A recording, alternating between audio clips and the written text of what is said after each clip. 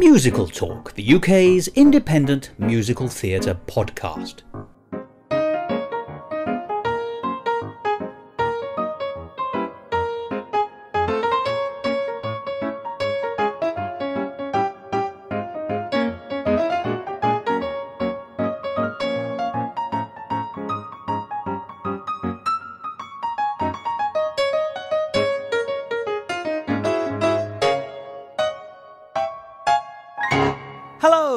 Welcome to another edition of Musical Talk, the UK's independent musical theatre podcast.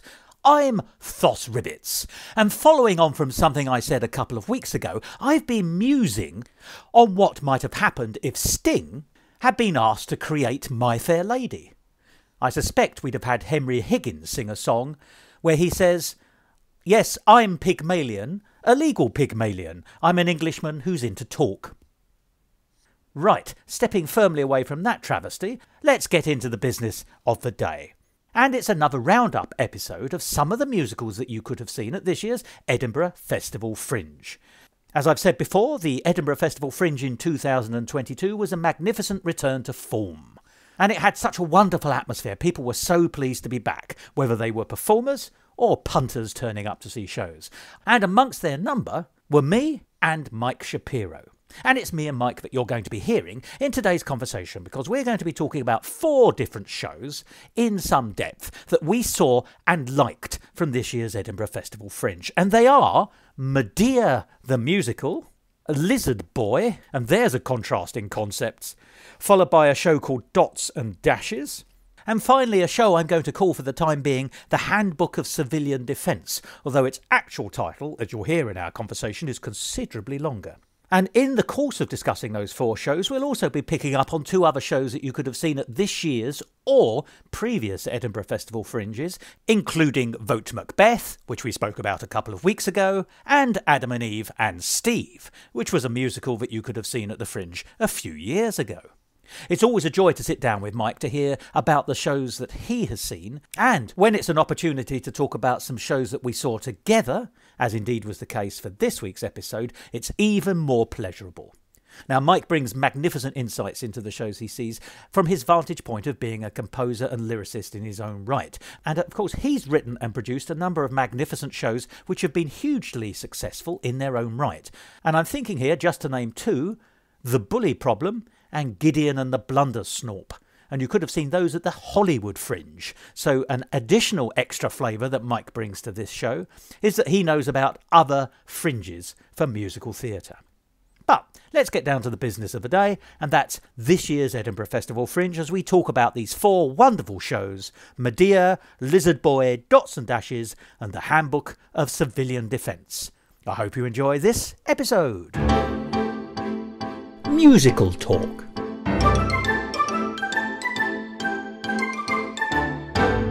Mike, you and I are here again, recording at the Royal Festival Hall on one of our favourite subjects, which was this year's Edinburgh Festival Fringe 2022. We've had a chat about it before, but there's plenty of meat left on the bone, I think. There's plenty of things to talk about. Absolutely, and I want to repeat that it's so good to be back in Edinburgh for a full real life IRL fringe. We talked about uh, some of the online offerings in past years, and those were very valuable stopgaps, but there's nothing like the real thing. There is nothing like the real thing, that is absolutely right. And there were some marvellous things to see. You know, it's, it's true that the great thing about Edinburgh is there are so many different shows, uh, but you only pay small prices for good theatrical experiences. You know, it's still an average of ten pounds or so for a, an hour of musical theatre. You're not going to find a deal like that anywhere else. And if you see some shows which don't match your taste or which are merely average or brilliant, you've only lost £10 or you've made a massive investment on your £10. We are going to be talking about the shows that we liked or we thought had really interesting things going on. One of the ones we're going to start with today is actually another show that we really thought was a top notch show, right up there at the sort of our uh, Premier League of best shows for the year, and that's Medea the musical. Now that's the classical Medea, not Medea as in have some Madeira, Medea. Right. Um, which is would be a Flanders and Swann biopic musical, which actually I'd be up for seeing. But Medea, if anyone knows anything about Medea, is a piece of classical Greek literature which is a tragedy. It's essentially about a woman who's, well, Medea, who is estranged from the famous Jason, Jason of the Argonauts. This is another chapter of his life, but he's not the central character here. He has left Medea, his wife, uh, for another woman, and Medea gets increasingly upset about this, quite understandably, and as she finds she's got no agency in this relationship in any way, that she is very much the, uh, the former wife and not part of his life in any way, she ultimately, in the original, murders their joint children. And it is a great tragedy, and I saw it on stage in London a few years ago with the late Dame Diana Rigg. It was a magnificent performance, as you might expect, but seeing it was a full and harrowing experience. I would say seeing Medea the musical touched on different tonal points in the emotional journey of Medea, but also us as the audience. So we liked it a lot. And, and you've had a chance to interview the writer and star. I did. I've spoken to Hayley Canham at length, so um, I'll, I'll just give my opinion in brief here because you can listen to that subsequent episode and hear all the gory details, uh, literally and figuratively. This was one of the two shows that I thought really stood out and that I imagined having a future. So much so that I said, I've got to grab the, the creator and talk to her before she's famous although she's actually already famous because she was a, a star of the original production of Matilda uh, as a performer. So I, I got her between periods of fame. but she's um, building up her way in the world of musical theatre as a writer and performer. So yeah, it was a it was a really moving show. Now, when you think of Medea in terms mm. of the character arc, I mean, ultimately the story of Medea is taking a postscript to the larger legend of Jason and the Argonauts, almost a plot complication. Yeah. You know, Jason has a, a, has a tragic flaw, as do the classical heroes in Greek mythology. They tend to do, and he pays the price for that later. But Medea, as a character, originally was just meant to be his comeuppance for arrogance and hubris, right? She wasn't meant to be a character that was fully fleshed out with her own emotional journey. And Euripides' play looked at this tiny part it was very much kind of the Guildenstern and Rosencrantz are dead of its era, where he looked oh. at, at, a supplementary character and turned the spotlight on her and said, "What's her emotional experience?" And what Hayley did with this show, she took a character who is portrayed as a a vessel of rage, perhaps righteous rage, mm. and vengeance, and explores the feelings of helplessness and rage and vengeance and she turned it into something much more nuanced and sympathetic. The emphasis of this show, well, first of all, here's a here's a big picture description, and we'll go into this more in detail in the interview. But it is like Vote Macbeth moved to modern day. Medea's breakup with Jason is portrayed as a contemporary divorce, complete with divorced lawyer. Yes. And all of the characters from Euripides, or I should say, some of the characters from Euripides' original are transformed into modern equivalents and we look at the emotional experience of the divorce. The angle of the show is showing Medea as someone who is very vulnerable, very, I don't want to say needy because that implies a kind of psychological defect, but someone who's very much wants Jason for good or for ill and is feeling gutted from this betrayal, this divorce, uh, losing Jason to somebody else, and goes through a series of efforts to try to repair that relationship or reconstitute it with increasing desperation and direness. And this is very different from a story of, of a woman scorned who then turns to despicable ends. The music is fantastic, it's contemporary, it's witty, it's touching, and for me, this was a highlight of the Fringe as a whole. What, what were your impressions? Oh, it's definitely one of the highlights. I mean, uh, I I would identify this as one of the three best musicals that I saw in Edinburgh this year. The other two being Vote Macbeth which, funnily enough, I think is almost like a stablemate, funnily enough, Medea, and The Pick of the Fringe, which for me was uh, Kathy and Stella solve a murder, which is a very different kind of musical. But for me, Medea and Macbeth have some similarities. I don't mean that in any other way that they feel to me like they're very successful brand new musicals about classical stories involving, you know, murder, brutality. They give us a clever contemporary twist on each of them and they each end up with a judgment. Now, in the case of Medea, it's set in a court, exactly as you say, uh, and we have this um, lawyer character, solicitor character, all the way through, who's also a kind of narrator character, and he speaks to us. He breaks the fourth wall. He talks directly to us on a number of occasions. He's also a bit of a mover and shaker in the story, for good or for ill. There's a sense that actually he's not the lawyer in Medea's story. She is very much the. Um, in his world, she's very much a character in his story. I suspect he thinks that this musical is about him rather than about her. And the reason to me that Medea feels to be like a, a, a stablemate of Macbeth, not just because of the uh, the fact that the you know it's a central character from a classical text.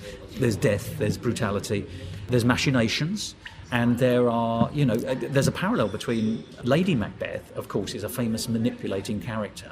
The lawyer in Medea is a manipulative character. Also, he he I think from the point of view of if you were making a judgment as to whether he was an ethical solicitor, I think you would have to argue that he was a non ethical solicitor.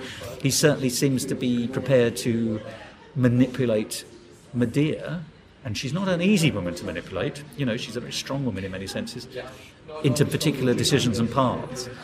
And then they both come to an ending which are both very, very different, but leave you thinking at the, at the end uh, in a way I don't want to reveal. But I thought the two shows, if they had come from the same author, even, I might have not been surprised. There's a sense that, to me, they, they, they, they are very different, and yet I can see parallels. I'm going to speak in deliberately antiquated language here. You are talking my uh, language. Antiquated is where yes, I am at. Perfect. But I hope the spirit of this is I interpret this kind of as a as a loosey, hand waving metaphor rather than something meant in a very literal sense. Vote Macbeth felt like a very masculine storytelling experience and Medea the musical felt like more of a feminine one. And maybe it's just because I'm thinking of the author in both shows uh, or the main character in both shows. But Macbeth was more militant. You know, it was much more, you know, grasping the reins of fate at every turn. And um, Medea was the character had agency, uh, but it was much more emotionally introspective.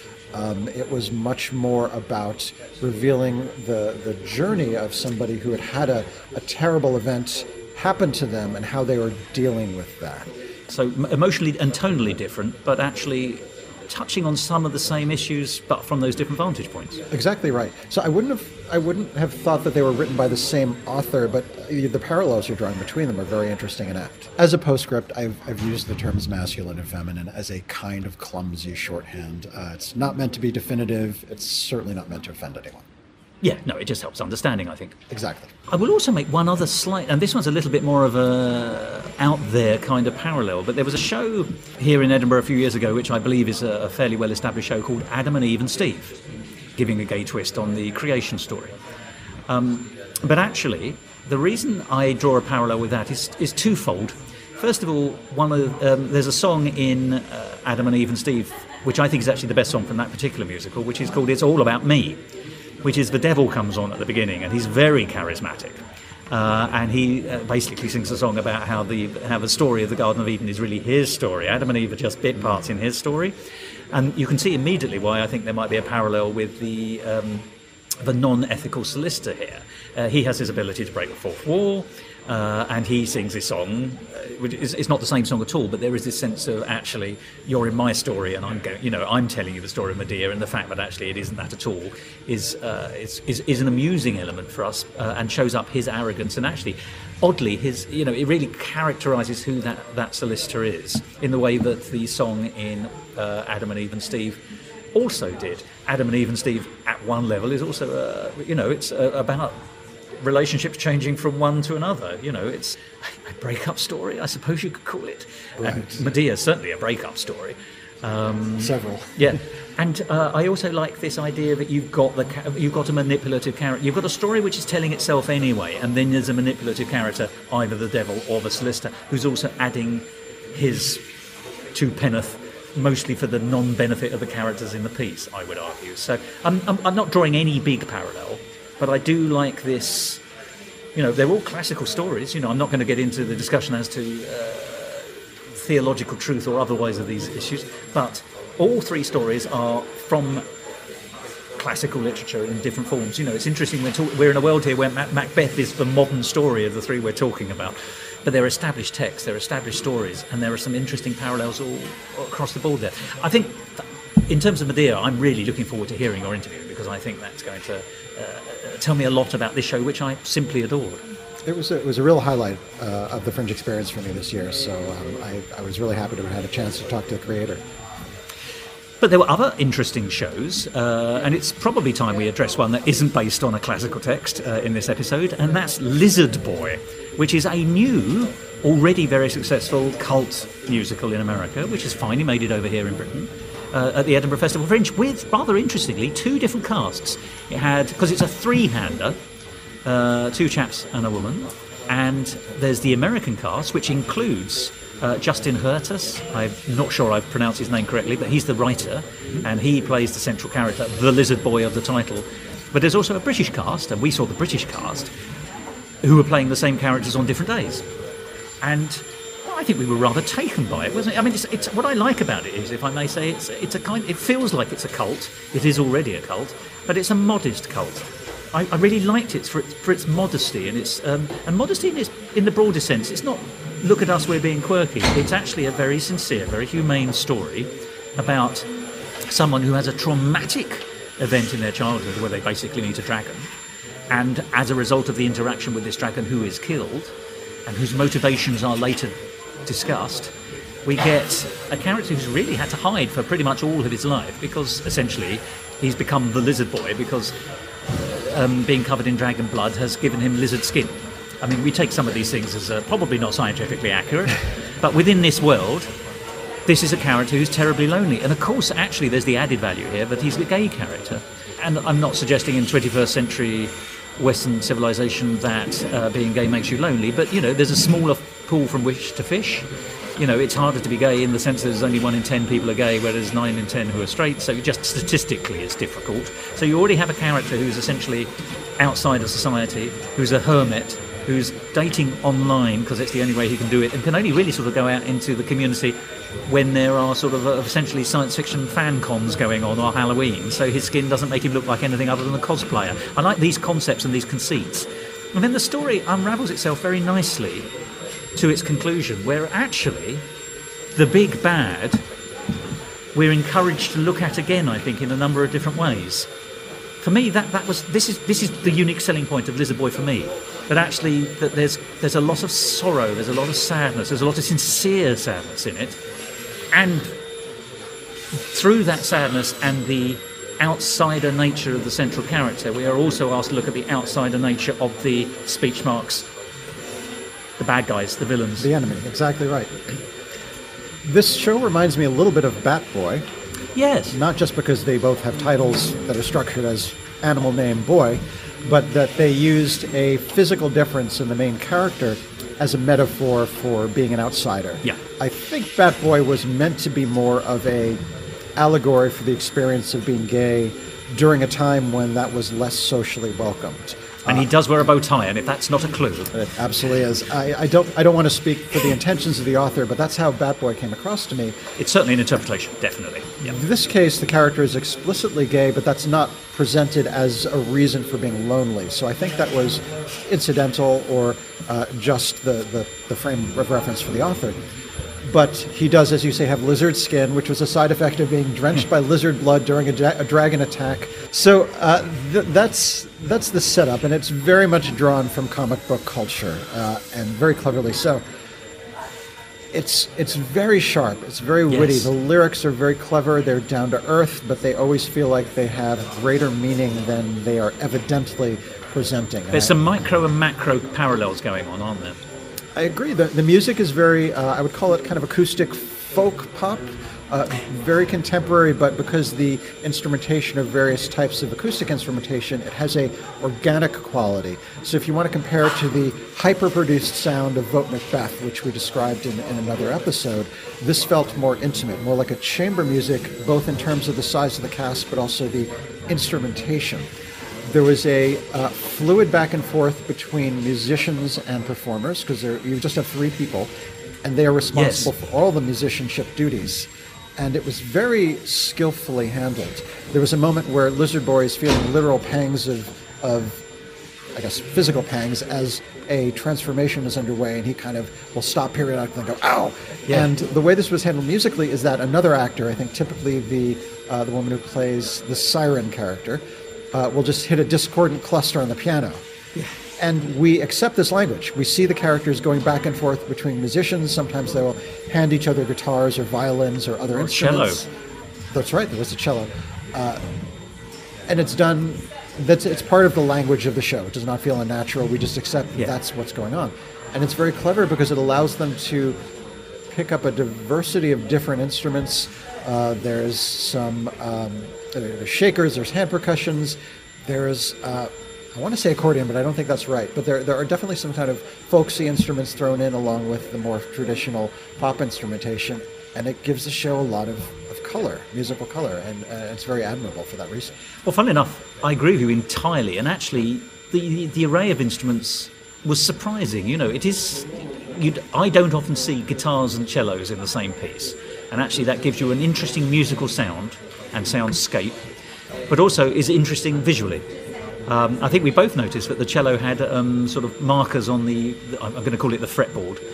Um, If there were frets, it would be the fretboard, but the neck of the instrument has right. a few uh, markers that I think uh, speak to the difficulty of playing cello when you're not a specialist and when you are constantly moving back and forth between Yeah. different instruments and you're And holding the cello and putting it aside. Um, I think it, it was very practically well. The, the musicianship was very practically plotted. And this is what I mean by modest at one level. You've got three people doing so much with what I'm going to say so little.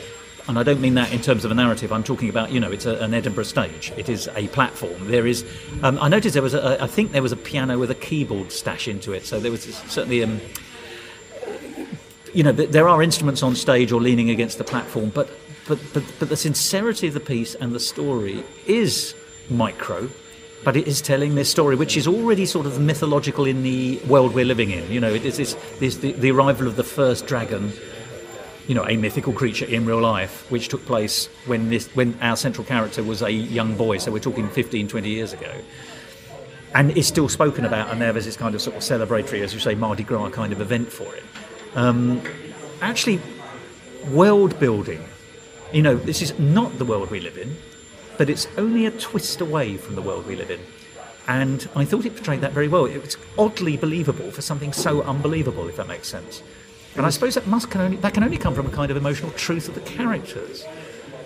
I also think that the story was very well thought out. I don't remember if it's a comic book adaptation or an, uh, or an original work, but it was when you have a story that has so much I'll say metaphysics. There's so much Yeah. sort of mythology that's necessary to understand in order to make sense of the story, and we don't know any of it going in. The story has to introduce the fact that there was Yeah. a dragon invasion, and it has to give some exposition. The, the story was very um, skillful in delivering that musically in a way that allowed us to understand what was going on and not feeling like we were taking a lecture break or you know an exposition break. It, it all flowed very nicely. Another thing I liked was the parallels in the characters. That they have ostensibly who they are is drawn very quickly, and then we very quickly, or uh, over the course of the story, get to see that those characters are doing very, very different things. Uh, for example, the um, I think he was was his name Brian or Eric, I can't remember, but the um, basically Lizard Boy hooks up with somebody, goes round to his flat, and this chap is all over him very quickly, thinking he's wearing a cosplay, a cool cosplay skin.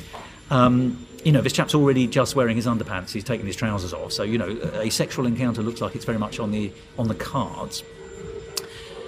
And so, you know, you immediately peg this chap as sort of a slightly sexually voracious uh, online data, and by data I mean for sex. You know, there's not much small talk. They, it looks like he's up for it immediately. And it turns out that he's a really gentle character all the way through. That actually what he is looking for is a bond of connection with a human, and the sex is just a kind of, sort of an entree, if you like. Uh, and presumably hasn't been terribly successful in the past. The same with the um, Angel character. She's a she's a singer. Uh, she's quite spiky. Um, and then you realise that she's got hidden secrets as well. And uh, in fact, actually, she she goes on a path which I wasn't expecting. Um, rather a splendid one, actually. That uh, you know, she has a warped logic, which I will not be uh, clarifying, but she has a warped logic about what she's doing, which makes absolutely sense at one kind of warped logical way. But for those of us who are not using warped logic, you can see the flaws of. Uh, I love her misguidedness, if you like, and her sincere misguidedness, which were making her do terrible things. It follows the maxim of everyone being the hero in their own story. And I think in her case, what she's doing, she, she's taking the steps Yeah. she thinks necessary in order to save humanity, but that we would regard as uh, extreme and, and, and evil in their own right, perhaps, in some sense. There's some healthy debate. If it, It's hard to put yourself in the mindset of somebody who does live in a world that is under, you know, uh, extra normal forces. Yes. Which is never true here. Like if, if somebody in real life said, "Well, I'm doing the following things to prepare for the arrival of the UFO invasion," we'd say, "Well, that's not a thing. What, what are you doing?" But in this world, the the invasion is a real thing, and It- yes. so we have to judge them in context. I think. But overall, we thought Lizard Boy was a truly successful piece. And I also want to add that I, I had listened previously to the cast album recording, and to fill in my understanding of what was happening, I read the Wikipedia plot synopsis. Now, Wikipedia is like the uh, the river in Heraclitan philosophy, always changing. But as of this recording, the Wikipedia summary has a different version of the story, and in particular, the ending is very different. So, uh, if you're doing what I did and you feel a little put off by what seems to be the ending, I want to say that the show as we said earlier, that there's no, no substitute for the real thing. Yes. And in this case, you will not get a real experience of the show from the cast album and the, as of today, Wikipedia synopsis. And in particular, the ending of the version we saw was superior and much more emotionally resonant than what I read in Wikipedia.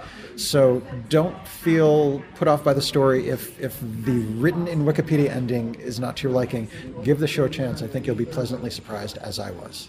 Now, the thing about Lizard Boy is, of course, there's lots of. Because we say it's this world that's slightly one degree tilted from where we are, just to give it that gloss of science fiction and possibility and fantasy. But of course, it has to be close to where we are for because we need to understand the codes, the social codes within it, both on the one-to-one basis, but also in the society contextually. You know, are, you know if a dragon turns up, the military are going to go in because that's the way that people respond to these things. I'm always interested in codes, but there are other kind of codes available at the Fringe this year, and you went to see a show that really just sort of suggests Morse code, I think. So tell us about dots and dashes. That was a very high concept segue, but I'll roll with it. It's very kind of you to use a high concept when the words terrible would have equally sufficed. Dots and Dashes, a Bletchley Park musical, was a show I liked very much. It was a little bit out of what we think of the central area of the Fringe. It requires a journey. But Just like the characters. So well done. You're, you're on top of the metaphors today. Uh, it was a journey that I thought was absolutely justified. I really enjoyed the show. Partially because I am predisposed towards the subject matter, which is the real life story of the intelligence efforts centered at a place called Bletchley Park, where Axis was Axis a term in World War II or was that World War One? And the the axis was the um, the fascist side. Right. Well, we'll, we'll say the enemy for shorthand. In World War II, uh, their communications were intercepted by British intelligence and then expertly decoded because they were literally encoded through uh, the cryptographic tools of the time. Uh, Britain was able to do this in part through interception of codes and eventually the uh, the Enigma device, which I think was sort of the, the master hardware encoder. And once I forget if they, they captured uh, the device and were I believe, able to. I believe the credit should go to the Poles, actually. I believe the Polish captured the device, and it was that device that then gets its way to Bletchley Park Right. to, to, be, to, to be used. So Bletchley Park was, uh, for the purpose of this story, uh, this this historically based story, was the intelligence center, and um, the messages were decoded, and vital aspects of the war depended on the this information. Uh, there were there were interesting cases where the uh, where Churchill had to decide whether or not to act on the intelligence he had gotten, because on one hand, by preparing uh, a city for an aerial assault, you could save lives, but then you would give away to what was the invaders yeah. that they aha they, the English cracked the code. We'd better change it again. So there were all these really interesting decisions that had to be made uh, strategically and often um, with heartbreaking results. Anyway, this is all context. The story takes place at Bletchley Park and focuses on an all female group of code breakers and uh, translators. Uh, the nature of World War II is that many able bodied men, in the literal sense, were sent to war, leading women to take on some of the roles that at the time were traditionally male based. So the, the story gives us a glimpse of this fascinating part of World War II. Uh, it shows us what the efforts were like. It gives us kind of a, I don't want to say documentarian point of view, but it definitely gives us exposition about this effort in British intelligence. and it shows us some of the conflicts between the requirements of the work and the personal lives of the women who were involved, uh, not the least of which was the fact that they were sworn to secrecy. Yes. So they had to make up fake job descriptions and often tell their loved ones, you know, they were going to work in a factory or they were a secretary. And another aspect of this is the, the literal thankless nature of the work. Because Bletchley Park, this was a shock to me, was actually kind of a, a secret up until the 70s. Yes. I had no idea about that. So if you think of, of, of, these women who were working against the tide in terms of what was considered socially acceptable work, who were doing vital, vital intelligence work, and institutionally were sworn to secrecy, and we're also facing a time where women were just not allowed to or, or, encouraged to participate in this kind of work. So it was in every sense thankless, and it makes for a, a great backdrop for a dramatic story where you have the ongoing drama of the war uh, leading up to, I believe, the D-Day invasion in the case of the story, but also the, the struggles uh, that the women face personally in, in, in, dealing with secrecy and dealing with wanting to have personal lives or family lives.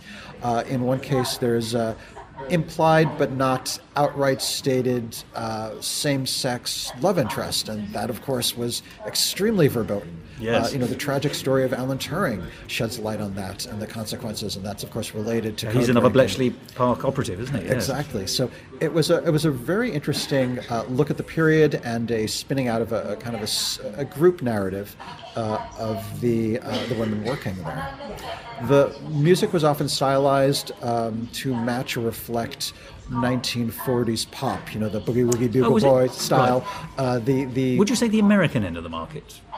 You know, I'm not a smart enough person to make that distinction. Oh, you are absolutely, but you may not you may not be fully knowledgeable about um, British alternative pop of the, of the 30s and 40s. I will I will accept that. I, I, wouldn't say the whole thing sounded like it was all period music, but it was informed by period yeah. music, sometimes more overtly than others the cast did an excellent job of conveying shades of personality. You have the very seemingly uptight codebreaker who is glued to her headphones and she's listening to these uh, transmissions and she has to record them. Uh, you um, you have the, the people who I'm sorry, I think I'm, I'm combining roles. There's a person who's monitoring transmissions. There uh, there's a couple who are doing the code breaking, and then there's one who's sort of the big picture analyst who's who's integrating this information and keeping a, an updated map of where they think the enemy's troops are, and the uh, the collaboration between them and how this lends itself to different personality types. Ah, yes, because it's an ensemble piece by the sound of it. It is yes, very much yeah. so. And now, there's always an interesting structural issue with uh, ensemble pieces, isn't there? Because actually, if it's an ensemble, you need to give everyone enough to do, uh, and usually, although it sounds you've suggested that actually that they they're, they're able to have their cake and eat it here, you don't often have uh, an, a you know a, a, couple forming or anything like that because that would take the focus away from the ensemble. Uh, so there's less often a sort of romantic story in these things, although there can easily be.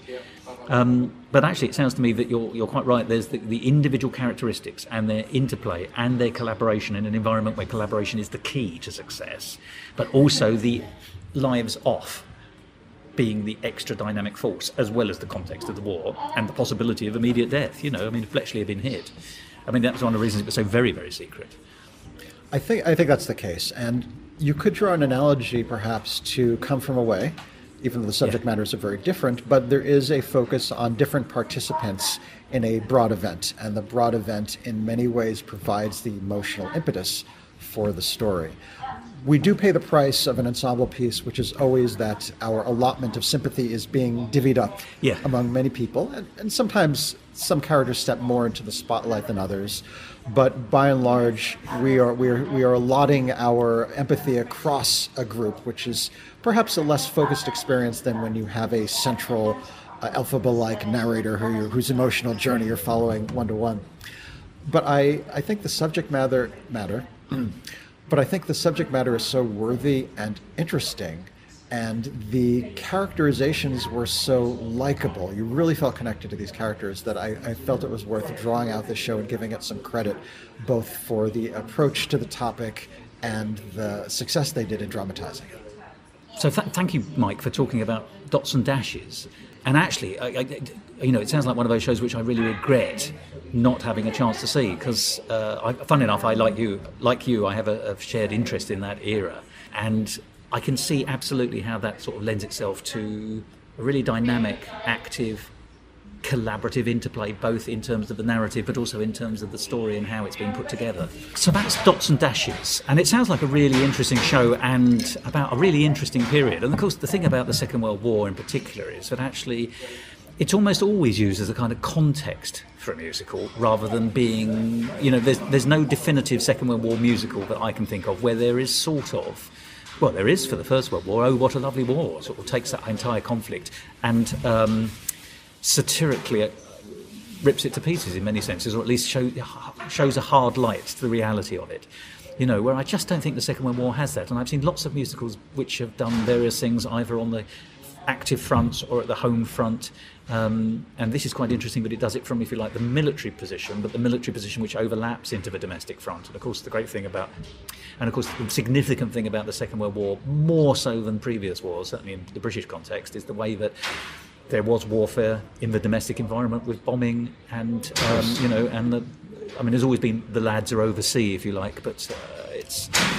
But I do just briefly want to touch on one more Second World War musical at the Edinburgh Festival Fringe. And I'm only going to talk about it briefly because it didn't quite do what I thought it was going to do. But it was called, and it has the magnificent title, Handbook of Civilian Defense, brackets, what every loyal American can do to help the United States win the war, close brackets. Now, I went to see this because it promised and it delivered, but uh, it was going to take a little handbook, which I believe was delivered and given to uh, American citizens uh, uh at the point that the Americans joined the war in 1941, uh, because there was a genuine possibility and fear of air raids reaching American soil. Now, very little happened. Well, I believe there was some skirmishing around some of the coasts, but obviously it's a long way for a, a German bomber to go. And there were other places that were so much easier to reach. Uh, I'm a Londoner, you know. So, but that doesn't in any way diminish the fact that defences and concerns were in place. And this handbook, I believe, was handed out to uh, to citizens in America. And this theatrical company, which I think is American, has created what I would call a verbatim theatre musical piece about it.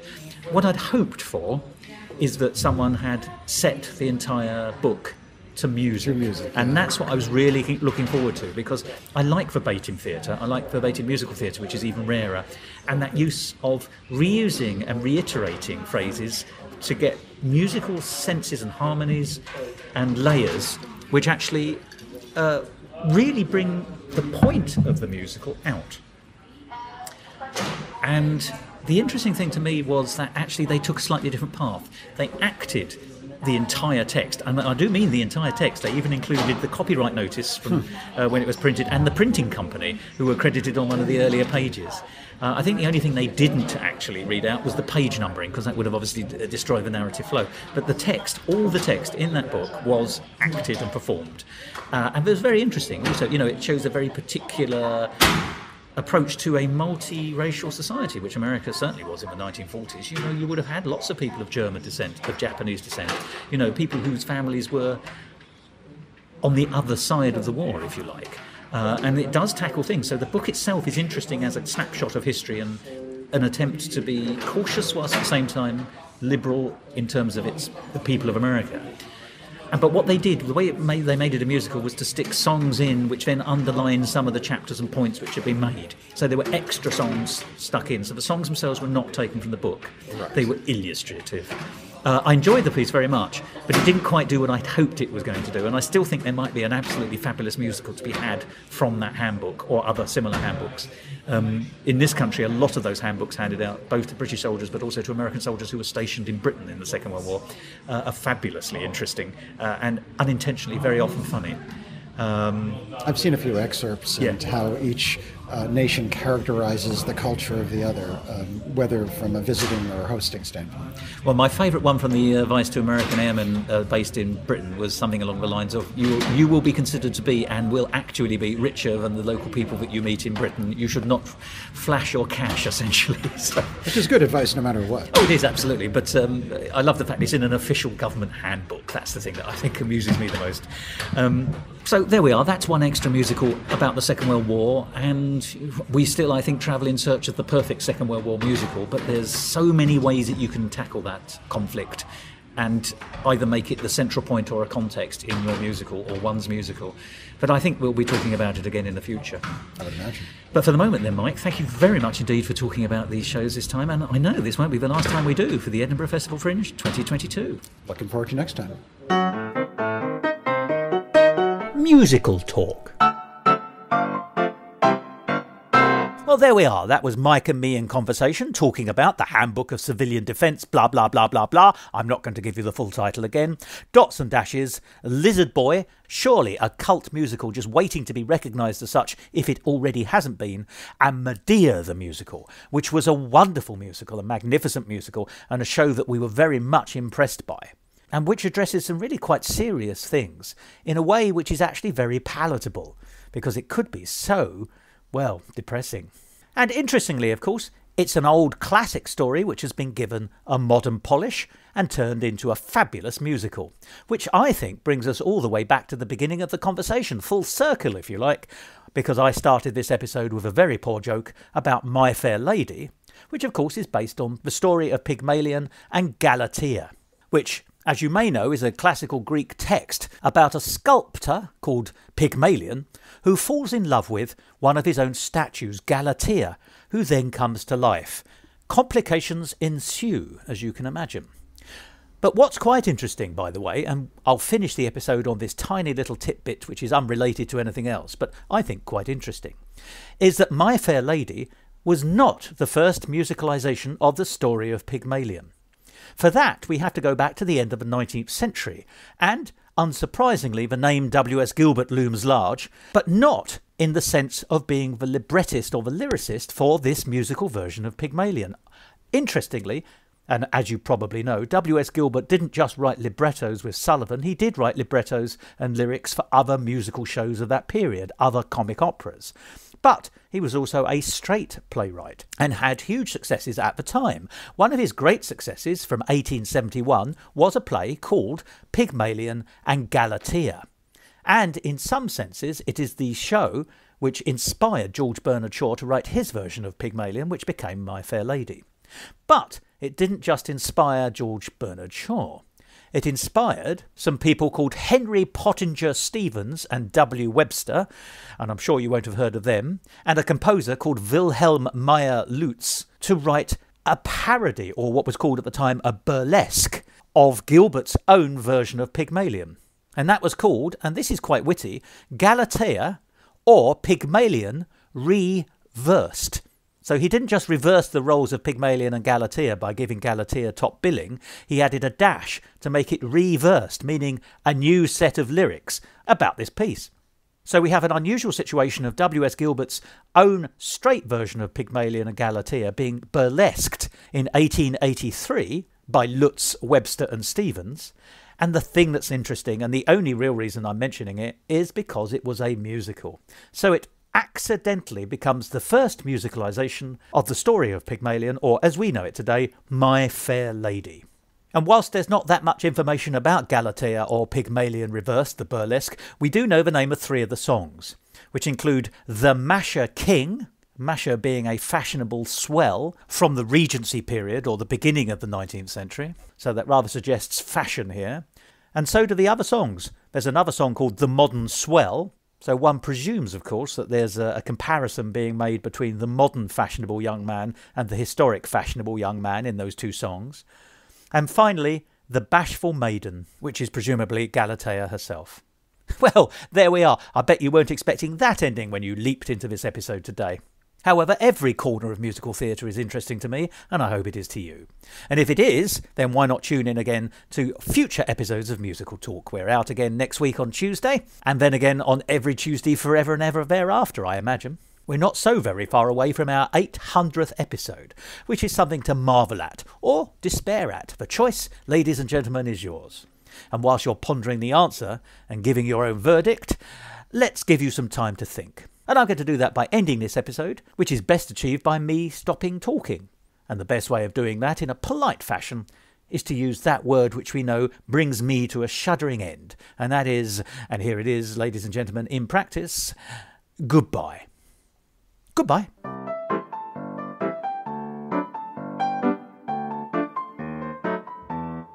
This episode of Musical Talk, presented by Thos Ribbits and Mike Shapiro, and edited by Thos Ribbits. Although I would like to extend my thanks to Mike for some of his technical assistance in cleaning up these recordings. Copyright Musical Talk 2022.